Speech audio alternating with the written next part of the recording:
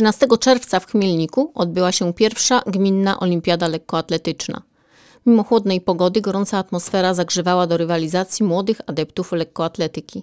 Na boisku sportowym przy ulicy Kwiatowej zawody rozegrano w trzech kategoriach wiekowych. W najmłodszej grupie sił w skoku w dal oraz w biegu na 60 metrów próbowały przedszkolaki.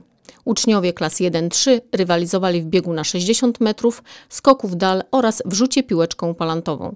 Tu najlepszy wśród chłopców był Kirill Korolow z zespołu placówek oświatowych w Piotrkowicach, a wśród dziewczynek Amelia Gajek ze szkoły podstawowej w Suchowoli. Najstarsi uczestnicy konkurowali w skoku w dal, w biegu na 60 metrów oraz biegu długim. Ostatecznie najlepsze wyniki osiągnęli Marcelina Kwapisz z zespołu placówek oświatowych w Piotrkowicach oraz Maciej Treliński ze szkoły podstawowej w Chmielniku. Zwycięzcy otrzymali puchary i nagrody, a wszyscy uczestnicy pamiątkowe medale. Wśród wręczających byli reprezentanci pokolenia pięknej karty historii lekkoatletycznej na terenie gminy Chmielnik, Agnieszka Sztukiewicz i Rafał Pakosiński. Organizatorem zawodów była Akademia Brain and Body z Chmielnika. Za przygotowanie uczniów odpowiadała trenerka Magdalena Czarnota, a całą imprezę prowadził trener Grzegorz Stępień. Cieszę się, że taka duża ilość dzieci chciała wziąć udział w naszej olimpiadzie, która tak naprawdę jest pierwszy raz tutaj w Chmielniku.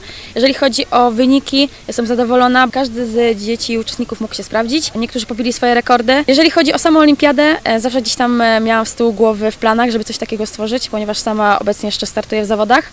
I też zauważyłam, że mało jest takich imprez. Dużo jest imprez innych dyscyplin jak piłka nożna, a jeżeli chodzi o lekkoatletykę, jest tego mało.